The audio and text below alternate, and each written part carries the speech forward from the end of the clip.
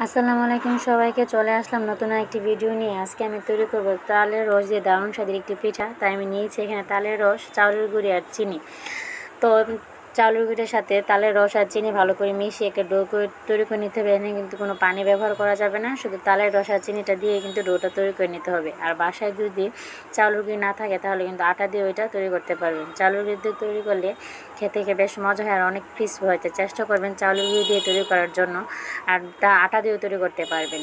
তো পিঠাটাকে মানে ডোটাকে আমি ভালো করে তালের রসা চিনি দিয়ে তৈরি করে নিয়েছি। ডোটা এরকম হবে, বেশি শক্তও হবে না, আবার বেশি নরমও হবে না। তো আশা করি দেখে বুঝতে পারছেন ডোটা কীরকম হবে আর পিঠাটা আমি কীভাবে তৈরি করছি, ভালো করে লক্ষ্য করলে কিন্তু বুঝতে পারবেন। তো পিঠাটা হবে হেজুরির বেচির পিঠা তালের রস দিয়ে হেজুরির বেচির পিঠা। এটা কিন্তু খুব সহজে পিঠাটা যে কেউ বাসায় তৈরি করে নিতে পারবেন। আর দেখতে যেমন মজা হবে, তৈরি করতে কিন্তু তেমন সোজা আর খেতেও ভীষণ মজা। খুব অল্প সময়ে পিঠাটা ঝটপট তৈরি করে নিতে পারবেন। আর একবার তৈরি করে কিন্তু রেখে দিলে অনেক দিন মজা বা ক্রিস্পি থাকবে।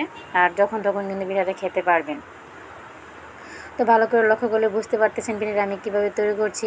বাসায় যা থাকে, যেমন টুথপিক বা ছুরি বা মেছের কাটি যে কোনো জিনিস দিয়ে কিন্তু পিঠাটা তৈরি করে নিতে পারবেন। তো পিঠাটা তৈরি করছে আমার শাশুড়ি।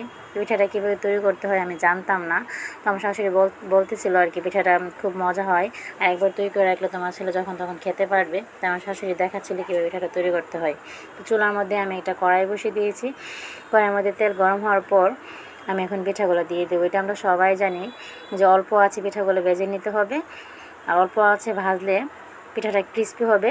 আর আর মনে করেন চুলার জাল বাড়িয়ে রাখলে দেখা যাবে যে পিঠাটা পুরো লাল হয়ে যাবে আর ভিতরে কাঁচা থাকবে। তাই সময় নিয়ে কিন্তু পিঠাটা ভাজতে হবে। তো ভালো করে ভেজে দুপাশ লালচে করে ভাজার পর আমি এটাগুলোকে তুলে নিচ্ছি। আর ভাজার পরে কিন্তু দেখা যাচ্ছে পুরো হেজুরি বিচির মতনই।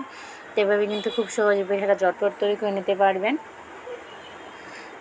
আর খেতে কিন্তু ভীষণ মজা হয়েছে। একবার তৈরি করলে বুঝতে পারবেন এটা খেতে কেমন মজা হয়েছে। তো এভাবে ভালো করে ভেজে বক্সে রেখে দিলে কিন্তু অনেক দিন ভালো থাকবে। তো পাশে আমার ছেলে খাচ্ছে আর দেখাচ্ছে। সে বেশ পছন্দ করেছে পিঠাটা। তো আপনারা বাসায় তৈরি করলে প্লিজ কমেন্ট করে জানাবেন কীরকম হয়েছে। আর যারা আমার চ্যানেল নতুন আছেন, তারা প্লিজ আমার চ্যানেলটি সাবস্ক্রাইব করবেন। আমি কিন্তু আমার চ্যানেলে সহজ সহজ ভিডিও দিয়ে থাকি। তো আজ এই পর্যন্ত আল্লাহ হাফিজ।